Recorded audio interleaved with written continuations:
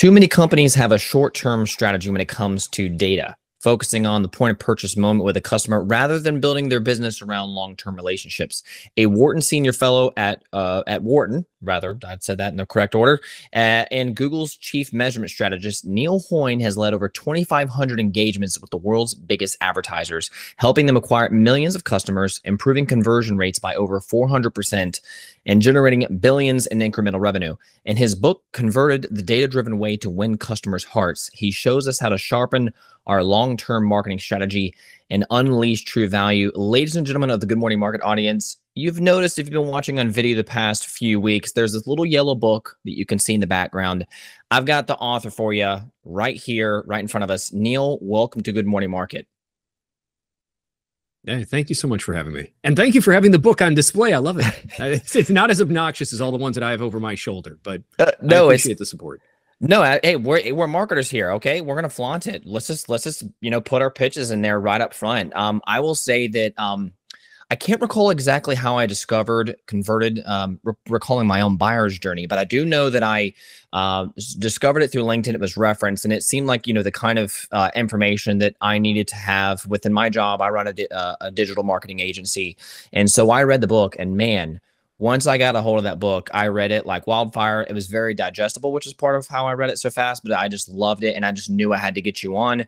So thank you for joining Good Morning Market once again. I do have to ask you though, a lot of my audience is in the southeast specifically the charming historic city of savannah georgia and at the time of this recording we're revving up for what we're most famous in the world which is our st patrick's day parade. I did happen to do a little intel on the last name hoyne. It sounds like it might be a little irish. Have you ever made it to savannah georgia? I gotta hear the story on that not Savannah, Georgia. Uh, the closest I've been was Atlanta, where I was actually I spent uh, I think I did a semester at Georgia Tech during undergrad in hmm. computer science, and so I was down there. I was just back in the city. I think the first time in about ten years, um, just to visit some of the CMOs out there a couple months mm ago. Love the city. Traffic, mm-hmm. traffic is always a strange thing, um, and I, I, didn't miss that at all. It's like keep, y'all keep adding on highways, and more cars just appear. I uh, know. So I haven't yeah. made it there. To the other question, uh, is there some Irish in my name? I won't tell you what, although maybe some internet sleuths will find it. My name was actually changed about two generations ago by my grandfather oh. from one that oh. was actually Polish and very long. Okay. And very hard to not only pronounce, but to spell. And so I think just simplifying it in business was the mm-hmm. uh, was the guidance given to me. He decided he's like, if no one can pronounce or spell my name, they're not going to answer my calls. So I'm going to shorten it to Hoyne, which is what it's been ever since.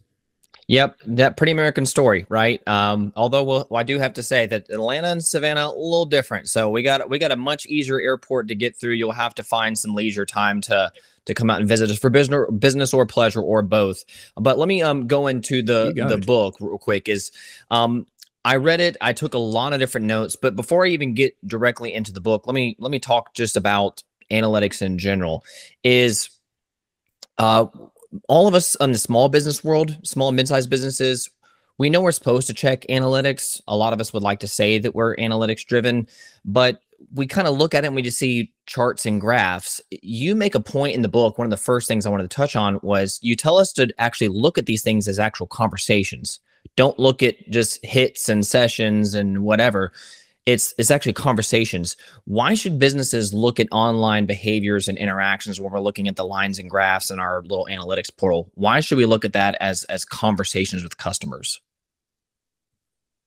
Uh, i think just you know data is unnatural. It's not the way we look at the world. It's not the way that we talk to people individually. Can you imagine mm-hmm. meeting somebody for the first time and saying oh neil give me a little bit about your background and i pull up a, a pie chart and i say well let me explain to you where i spent the time of my life. And you you can interpret it, you can make sense of it, but it is very purposeful, it is very difficult. And as a small business owner, you have better things to do. Mm-hmm. And now you may think that that is an exclusive fault to small or medium sized businesses. It's not. It manifests mm-hmm. even in large corporations. Mm-hmm. They just handle it differently. So they'll mm-hmm. do more external presentations about all their data, but still, are any of the decision makers looking at it?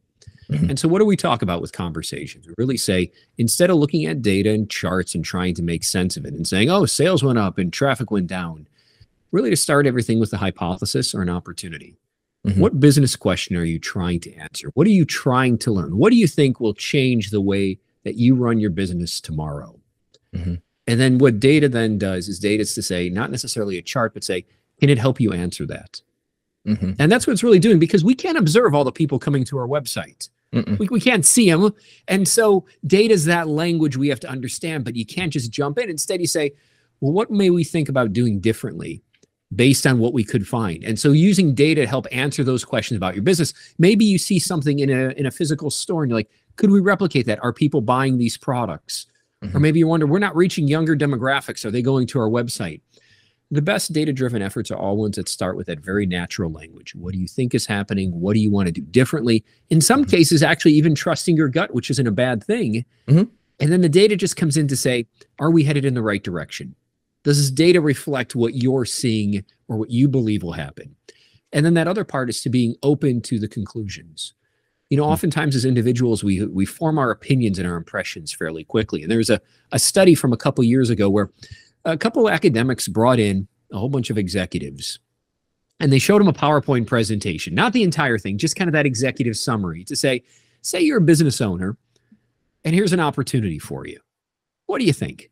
Mm-hmm. And you know, some of those some of those business people raised their hand and said, "I like this," and other people raised their hand and said, "I don't like this." But everyone said, "I need more data." Mm-hmm. And so that's exactly what they did. So over the next couple weeks, they each received a few more slides of data. Now, here's academics are playing a game, though. For everyone that raised their hand that they said they like it, they gave them slides that said this is the worst opportunity any company could pursue. and for those that hated it, they gave them slides and say this is the best thing ever. And uh, and at the end of the day, they came back and really the research question that they didn't reveal to people, where they were saying, how often do people actually listen to the data? Once they have that question, should we mm-hmm. go into this market? Mm-hmm would they listen to what the data was saying? And they found out that nearly, I think it was like 89% of the participants kept their original decision.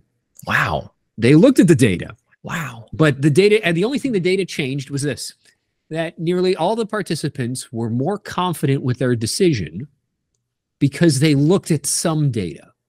Mm. But the mm. data just yeah. reinforced what they felt in their gut was the right answer. And so that's part of the process is just to be aware to say the data may sometimes take you in a different direction. But that's part of the exploration is to say, can you find a better source of truth from that data? Sometimes you can, sometimes you can't.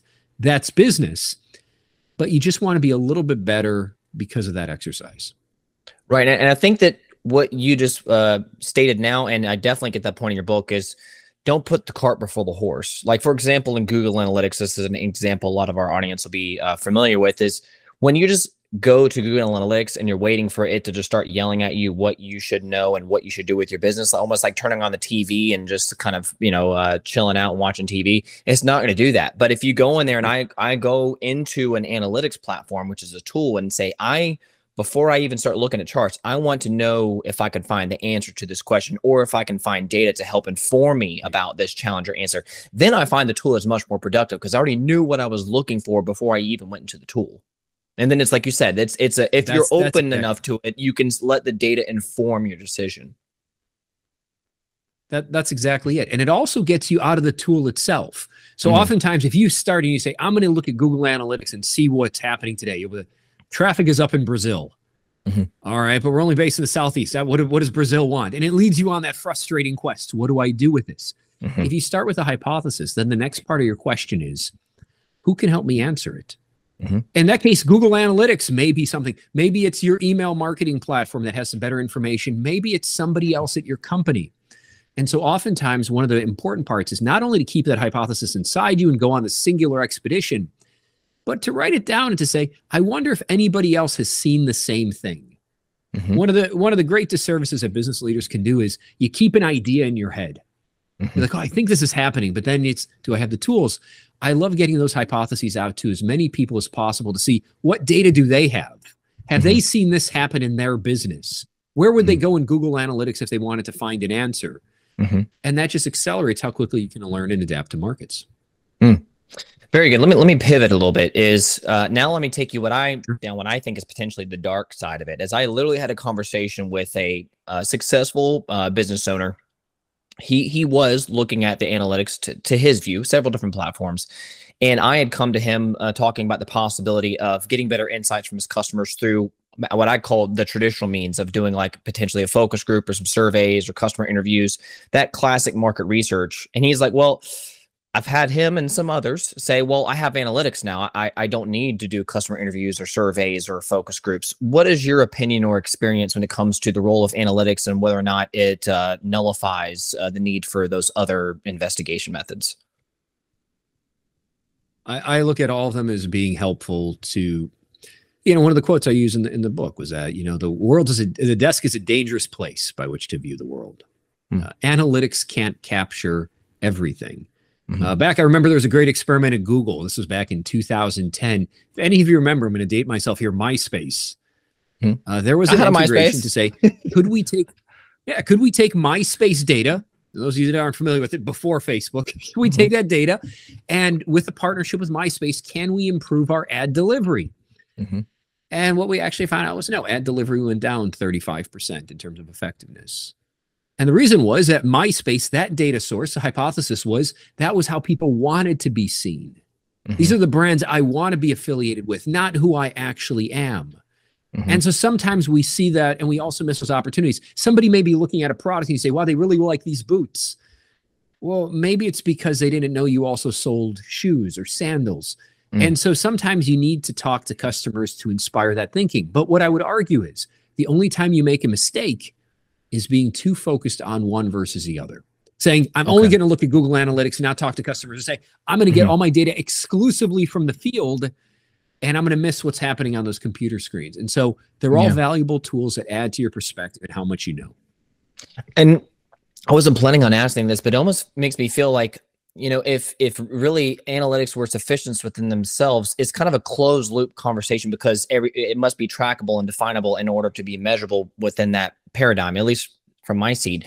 But isn't that even why we have burgeoning fields such as like uh, user experience research where uh, an observer will sit and watch the person uh, interface with for example a website because you're trying to actually have them communicate to you in real time as they go through a website experience, which is then being tracked with some kind of measurement tool, right? So it sounds like, you know, like there's additional context that can't be captured just by definition within an analytics tool. That, that's that's exactly it. Look, analytics tools, when you go back to the early, early versions of it, wasn't built on business circumstances. It was built to what you said, what we could measure. Mm-hmm. Now they've grown up and they've become a little bit more robust, but again, mm-hmm. more data, maybe some business questions. But it still comes down to that hypothesis to say there are some things that you can't answer unless you talk to customers. Here's an example. Uh, ad blocker adoption in the US, I think mm-hmm. eMarketer had a study where for people 18 to 24, their adoption is about 60%, which is the highest out of all demographics. Which means, guess what? Your web analytics tools aren't going to notice it. They're not going to notice those audiences. And if you only use your demographic reports as is, what's it going to say? Younger audiences don't come to my website. Mm-hmm. They must be someplace else. Older people love it. When you do experiments, you may be like, wow, this creative, this journey is what everybody wants. But until you talk to those people and someone connects the dots and say, yeah, I love your website. Do you also use ad blockers? Yeah. Mm-hmm. Then they're blind to you.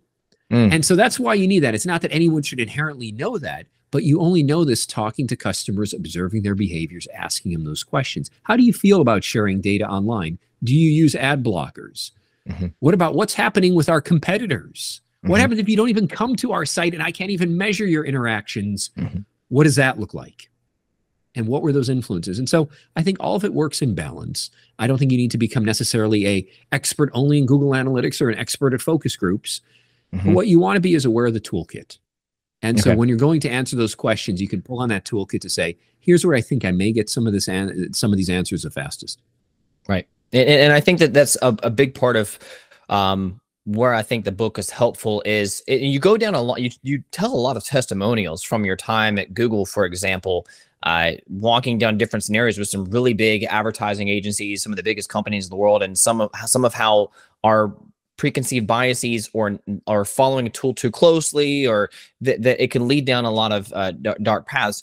As i re- read through the book you know one of the my favorite parts of the book and it's arguably you know one of the most uh, helpful and pragmatic right here and now for businesses of any size is what you call the chocolate cake. I think it's you know maybe a third of the way through the book uh, halfway through the book and it's something that that is a, a, known stat called customer lifetime value but it's not just like a cool stat. It, it, it really I, I, I likened it when i reviewed your book more to like it's, it's an approach. So it's a stat that's represented um, that represents how you treat relationships. Not all relationships are equally valuable. And so there's actually a statistical method and approach to organize your customers and to um, you just you, you you find a way to score them. And so this this book covers in great detail and then talks about how you can use it to guide your business in a lot of different respects. Uh, customer lifetime value. Can you provide a nugget on why you believe this approach to be so powerful? Well, first, quantitatively, we know it's accurate. So there's mm-hmm. about three or four decades of published peer reviewed research that said we have the capability of understanding and modeling how customers are going to spend over time. That's really what mm-hmm. lifetime value is. Mm-hmm. It's looking at a relationship mm-hmm. and saying, how valuable is this relationship going to be to my business? Mm-hmm. When we go a step further, and we say, all right, we know we can predict it. What mm-hmm. does it say? We find out that relationships actually model a lot of what we see in our real world, which is we know some people in our lives are incredibly valuable. Mm-hmm. We know some other people, great relationships, but they're transactional. I joke around countlessly you know, you give an Uber driver a five star rating. It was great. He got me where I needed to go safely. Mm-hmm. I'm not going to him for real estate advice. I'm not going to ask him how his kids are. We will probably never see each other again. And it's not that I didn't enjoy that moment or he couldn't be my Uber driver. It's just I have to recognize there's nothing else there. Mm-hmm. And it's the same thing with your customers. There's going to be some customers that you depend on that are happy to pay full price, come in routinely, spend in your category, aren't going to leave. Mm-hmm. And there's some that no matter how hard you try to market to them, they're not going to come back. Mm-hmm. And just understanding that and think about that, not from the data, but just from a practical reality. If I said, here's 10% of your customers that the only time they're going to come in is when you send them a coupon code. So you're selling something at a deep discount and then they buy and then they leave just as quickly. And here's some customers that if you sent them the same coupon, they'd redeem it, but they were more happy to pay full price and they weren't going anywhere, but you spent marketing money and you gave away margin to do it. And you start to realize that a lot of companies, when you're fixated only on the here and now, did somebody buy this product today? And you don't have the time to build that relationship with them, how much money you're leaving on the table. How better mm-hmm. could be to understand and to personalize. And imagine one of those high value customers calls you up over the phone. Do you want to make sure you get their questions answered faster than people to say they're only looking for the lowest price? Mm-hmm. And that's really all we're looking at. When we talk about this is we're just putting mm-hmm. customers in buckets to say how much value are they going to deliver. And it turns out a small portion of customers deliver a lot. Mm-hmm. And so mm-hmm. now we have names associated with them and we can start making decisions just in their in their frame of reference. And and I think that's like you said, we all instinctively know, like, hey, follow the money. We all instinctively know that you know eighty percent of your business comes from twenty percent of your customers. You you recite that uh, stat, which is a proven like it's a business proverb for a reason. But you know it opens up all kinds of doors because what you you document when you actually start to put your customers in those buckets follow the money but it represents a larger story about people and their relationships with your business. You can not only do it but based off of how loyal or how much they love your product you can also do it to identify like you said um, VIPs who are early in their buyer's journey, right? So if if I have someone who's kind of like in the middle of the road in terms of a snapshot of how much they've spent with me at a given time, but I can then use, for example, the predictive side of the customer lifetime value model to say, well, you know what? Based off of projections, I'm I think we have a VIP here who's just early in their relationship with me. I need to then uh, interact with them accordingly. And, and if you segment your customers right and you've had enough good conversations to know your VIPs and why and, and how you can increase value and delight and all that stuff, then you can just go supernova beyond what most, I know, for example, small and mid-sized businesses are doing because it's just, it takes some work, but once you can put your customers in those kind of buckets, it opens up all kinds of new opportunities to give people what they want in relationship to your business. Because, like you said, there's several different types of customers along several different types of relationship journeys. I, I don't know if I'm necessarily asking a question here. I'm just stating how emphatic and no, revelatory that was for me. That's that's that's exactly it. And it's a revelation to a lot of businesses. And think about this not from a business owner perspective. Think about this as a customer perspective. If you've mm-hmm. ever gone into a restaurant or a hotel or a retail store, and in the back of your head, maybe you received poor service or nobody prioritized your help, and you're thinking, if only they knew how much I could spend with them, Mm-hmm. or how much money I spend in this category, or how often I go out to eat.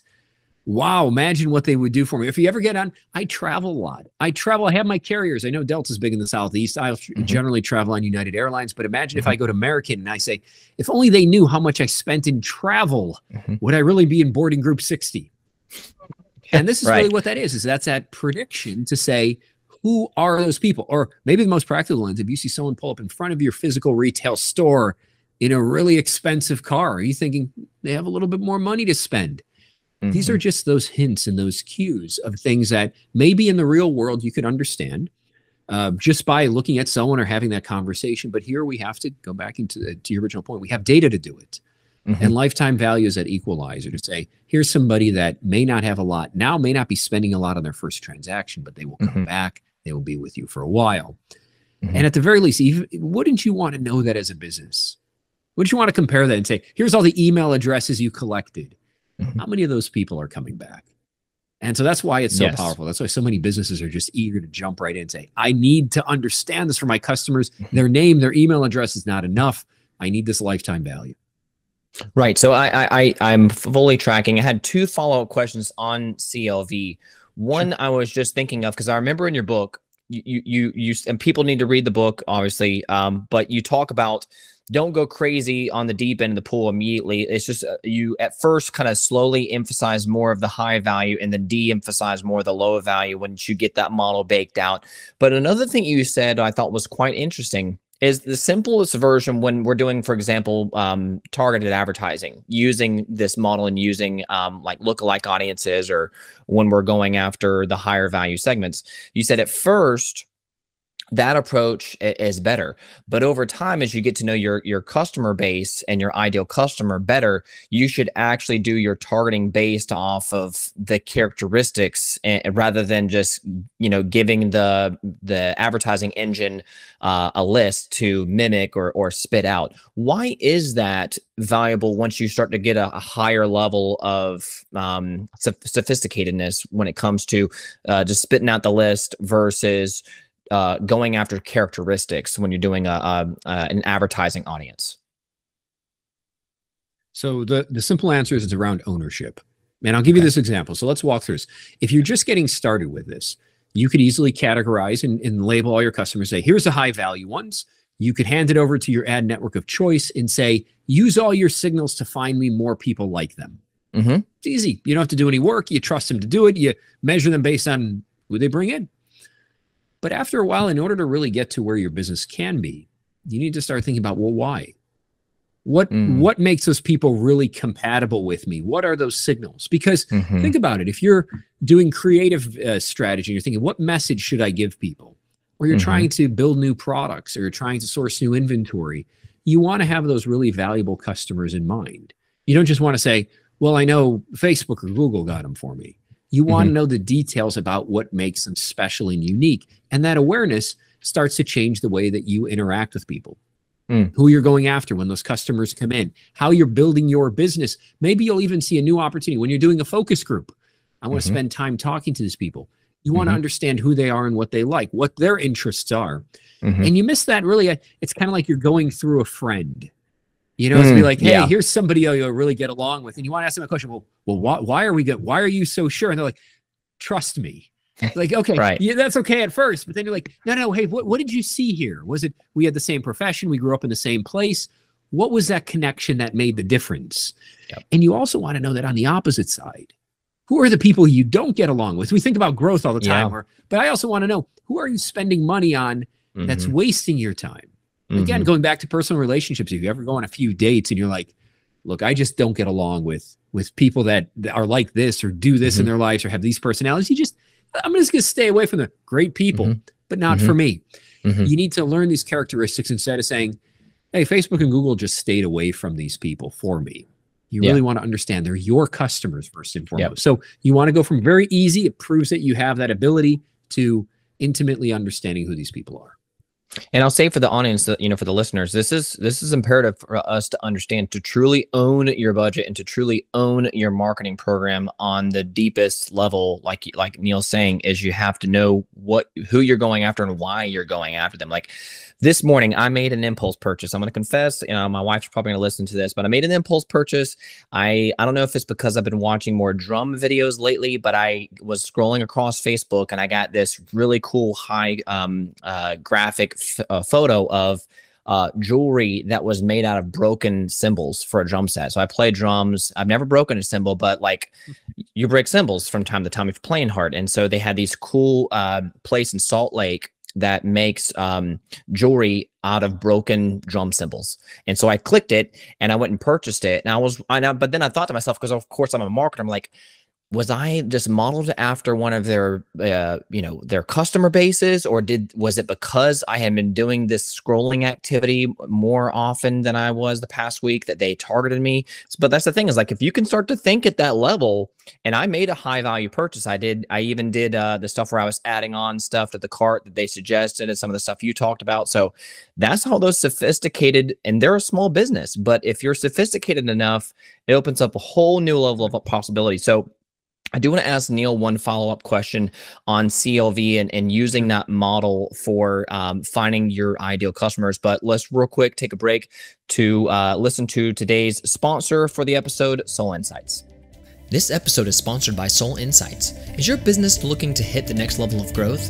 For many businesses, they know they need to spend more on marketing, but don't want to simply shoot in the dark. They want a smart, data driven path to solid growth. If this is you, then Sol Insights can help you identify, attract, and retain ideal customers. Sol Insights is a strategic marketing agency which helps small and mid sized businesses understand their best customers, who they are, their shopping behaviors, and acquire new best customers based on that data. Oh, and it's all measured and tracked to ensure you get more profit bang for your marketing buck.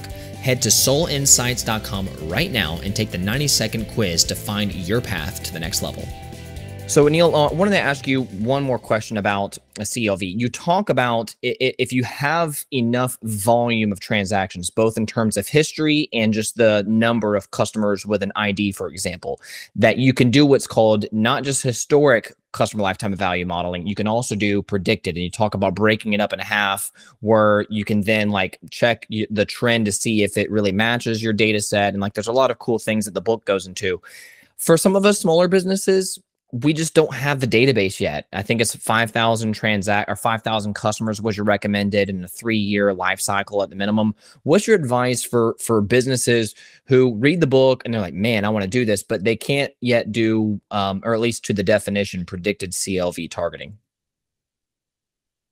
So there's nothing wrong with looking backwards at how customers behave. And so some of those okay. techniques which you'd want to look at is like um, RFM, recency, frequency, monetary value. Those are the precursors to lifetime value, but they were all historical, how people mm-hmm. behaved. Mm-hmm.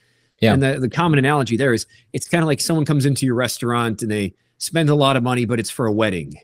Mm-hmm. Are they going to come back and do weddings every year? You hope not. I mean, just from a business owner side, I guess it would be great. Your wedding plan. Yeah. But otherwise, you're, right. you're like, they spent a lot of money. They're not sure they're going to do. But it's still better than just looking at what happened in one time period for one window. So, looking at individual transactions, what 90% of small businesses do is where you start. Then you can go and say, hey, things like RFM, let's just mm-hmm. look at how often people buy, how much they spent on each transaction are additive to start getting you towards that story while you collect more data and you move to that lifetime value lens. And so it's a transition of using what you have to move you through that curriculum.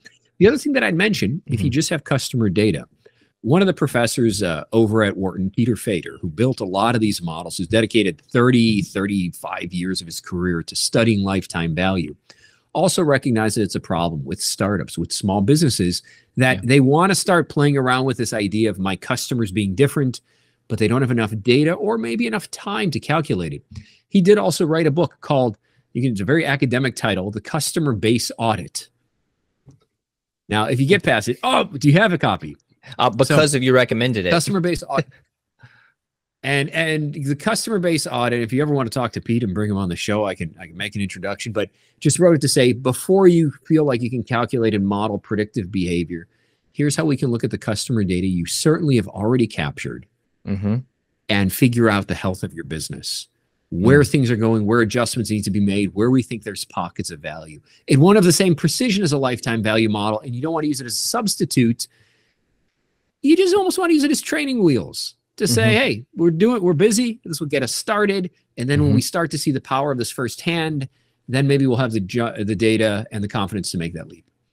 Right. And then once again, once you do get enough volume of data to where you can then transition to using predictive uh, customer lifetime value, uh, per the book, I believe your recommendation is to um, basically chart it out. In the first half of the data set, you want to, uh, I believe you said, leave for historic, I guess, observation in the past, reporting, and then use the second half of the data uh, would it be the second ha- uh, half of the of the customer IDs that you then use to model out what you should be um, seeing? I, maybe you could just give a little clarifier for someone who's a little bit newer yeah, to this the, principle.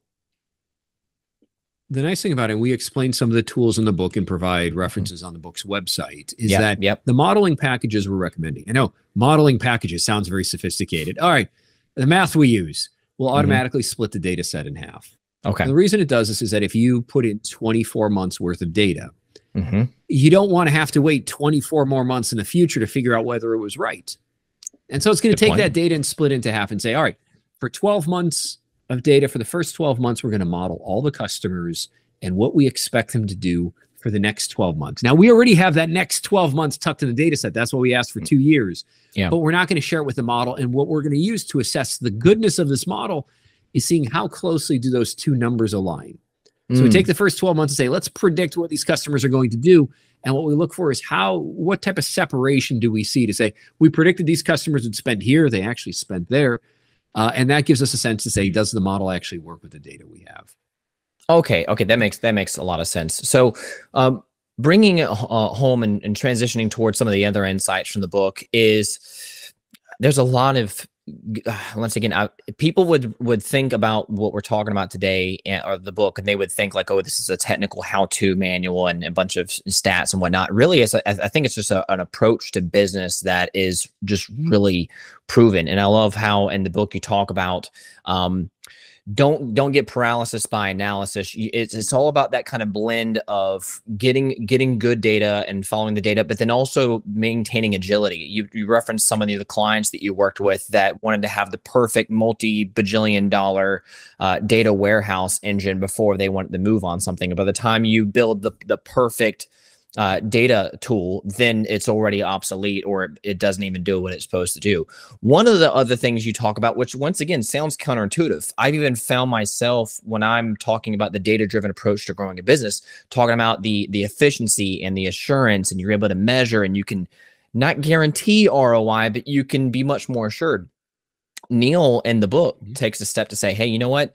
I want you to do something crazy here. I want you to take 10% of your marketing budget and I want you to dedicate it for exploration, where the the goal and the expectation is we're going to learn lessons, not so much that we're going to get 5x, you know, MROI. Why is this type of marketing spend important for businesses to not, you know, want 4x every single dollar? You actually want them to consistently dedicate a portion of their budget for exploration and learning you, you know, it's just when we look at marketing budgets as a whole, you know, generally the guidance from accountants will be like, you want marketing to be about 10% of your, your total expenses or yeah, revenue. It's like, that. all right, 10%. And you want that marketing money to get you as much as it possibly can. And that's mm-hmm. great. Mm-hmm. You want to mm-hmm. make as much money as you can today. Mm-hmm. What I'm arguing for is that there's actually a related business function. In public companies, you may call it R&D right. to say we need to put investments towards the future of our business. And in this case i'm arguing for the future of your customers so that mm-hmm. way that growth can continue for your business. And i'm not mm-hmm. asking companies i almost say look have your 10% of your marketing budget that's towards generating revenue but build whatever you call it. R&d may be too sophisticated but that function to say make sure you're putting a portion of your money towards understanding the most valuable asset you have for your business your customers and if you put that money in the same pile as marketing, you're going to look at it to be like, we need everything to work. We need everything to generate yeah. these returns. Here's what we lost. The goal of this function is learnings. Can you learn more about how your customers behave? And so mm-hmm. that way you know how to connect with them. You know how to message them, when to offer them a promotion and when not to offer them a promotion. Mm-hmm. Otherwise, if you skip that step, you're just kind of grinding away and hoping we can make small incremental improvements based on guesses or things other people have done. This is really taking the future of your business in your hands and saying, we need to make those investments today so that mm-hmm. in a year from now, your future you will thank you mm-hmm. for having those new insights and ways to reach customers. And mm-hmm. so that's why I break it apart because otherwise, there's never a good time to take your marketing budget and try new things. You want to get, yeah. especially now in today's economic circumstances, we want to get as much as mm-hmm. we can out of it. But I almost argue it's the same thing that we we run into just in our daily lives. Look, you want to go out there and you want to grind at work for that promotion or that next customer to make more money. And one of the first things I see a lot of executive sacrifices, they sacrifice well-being. Mm-hmm. They're like, oh, I can, I can, I can lose weight later on. I can exercise mm-hmm. later on. And that later on becomes 30, 40 years. Now mm-hmm. they're in the doctor's office, and the doctor's like, you need to take better care of yourself. And so that's what we're kind of saying is in order to keep your business healthy, mm-hmm. this is that exercise you need to do. And that payoff is not only supported by plenty of evidence from other people mm-hmm. that have studied to say this is a worthwhile thing, just like exercise, but it's also that payoff is in the future to say, future you will thank you. Mm-hmm. Taking out a little time, a little resources today to build that future for them. Would I be tracking if one of the analogy that I was thinking of in your description there was like, um, I, I, have a small business, so I have a certain kind of, you know, bottom line. I can extract that and pay myself. I can pay Phillip, or wisely, I probably should be always taking a percentage of that and reinvesting it back into the business, even though I could pocket it and say, hey, I, I earned this. This is yes. my money. I could pay myself but probably wise entrepreneur would want to reinvest. Uh, that 10%, for example, is a way to reinvest in your customers, reinvest in your marketing program, reinvest in your business long term because you're not going to hold it to that short term ROI pocketed cash. There, there you go. And whenever you look at those people, those companies, and you say, how did they get so far ahead? How come they were successful? Mm. How come they had time to, you know, exercise? It's because they purposely made those trade And if hmm. there's nothing else from this book and everything else, and I, I, know data books are tough to read because, like, I have a few hours tonight. Do I want to watch something on TV? I want to read a data book. If there's one message that I tried to carry through the entire book, it's empathy. To say, mm. I understand the trade offs that business owners have to make in terms of looking at data versus running their business, investing for immediate marketing growth versus long term, mm-hmm. reading a data book or watching TV. These are all decisions and trade offs we have to make. And mm-hmm. it comes from the position to say, there are plenty of companies in front of you. When you want to know the secret to success, it's really that a lot of companies say, not only am I going to do what's necessary for the short term, but I'm going to make those investments earlier than most of my competition will deem appropriate mm-hmm. in the mm-hmm. long term. I'll look at long-term relationships. I'll study what this this R&D thing. I'll study what the future of marketing is for my business. Mm-hmm. I'll learn more about this data and I'll make those investments and those pay off. Guys, there's time for tactics, there's time for strategy, and there's time for vision. And I think that's what Neil is trying to tell us to have a, a couple different buckets to be able to walk and chew gum at the same time. My final question for you is um, I recommend folks, I'm just going to straight out, straight out. I, I, already reviewed the book. I'm going to endorse it. If people didn't already know, I'm endorsing it. Uh, I endorse that folks, it's a business book. It's not a big business book. It's not a small business book. It's not for the marketing department. It's for business folks. If you at all are involved in, earning customer relationships and developing customer relationships, you should get converted. Uh, it does get you started on the data driven way in a very powerful way. Um, I do want to ask you outside of, you know, uh, maybe they want to read the book. What, sure. what is a, a, first step for the person listening to this episode right now, uh, a business leader looking to be data driven? What's a great first step for them? You know, the, the first thing I would do is I would go down and I, and this is, a, this is what I recommend. Take a notebook. Okay. And write down those hypotheses first what I'm offering you is hypotheses to say it's better to focus on long-term value of customers than short-term. Mm-hmm. But a lot of businesses skip that step. Ask your partners, ask your friends, what are the hypotheses? What are the things you should try for your business? Mm. Then the next thing I want to say is how quickly can you get there? Mm-hmm. How quickly can you test? How quickly can you put that into your business? That's a, that's a velocity that a lot of mm-hmm. companies mm-hmm. don't have. Is that they they never take that step back to say what could I be doing next? Now, even if you're looking through that list and you're saying, look, I'm already working 60 hours a week. I don't have time to try new things. Right. Still write that list. Because when things slow down or you're looking for opportunities for growth, or maybe you're talking to other people who have the same ideas, these are the invaluable insights. In my area around in data science, especially when we hire people to mine through data all the time, you're surprised as to how many ideas are left behind, how many things your customers will tell you, how many things you'll read about start that learning agenda to say these are the things that i want to test for my business that could contribute growth Mm-hmm. Now, one of them is lifetime value, and I'd say that should probably be at the top of the list. Yep. But don't let mm-hmm. other ideas pass you by. If you're listening to this podcast as you're mm-hmm. reading, don't miss out on those ideas just because you may not have the resources or time mm-hmm. today. Build that agenda for data. And then that next step goes back to that original question, which is start back at that question to say, now that I have all these hypotheses, does anybody have data on this? How yeah. can I figure out if this is true? And what you're likely going to find out is your network, your friends have likely seen, if not tested, mm-hmm. and are already going to give you that path to growth. Love that, that, lifetime value, I can tell you there's 30 years of evidence saying it works. You mm-hmm. don't need to test it yourself. You just need to jump right in. Mm-hmm. But do that with all the other ideas. You have that process. There's no end to how far you can grow. I love it. Yeah. No, don't come up with your new uh, amazing advanced theory. It's time to move and learn with the data that's already out there for you to grab and improve upon. So, uh, ladies and gentlemen, that is Neil exactly. Hoyne, the chief strategist of data and measurement at Google. The book is converted. Uh, it came out last year. It was a great book. It's available for purchase for, uh, on Amazon, and he has a companion website to his uh, for his book where you can learn more about the book and, and make a purchase. Neil, in, in conclusion, um, how can people connect with you? You know, LinkedIn is probably the best for me right now. Um, and that will tie it together. I, I always send people emails because it's easier, but LinkedIn is probably what I keep up to date. I post news on just because it works for me. Uh, but that's where I'd go.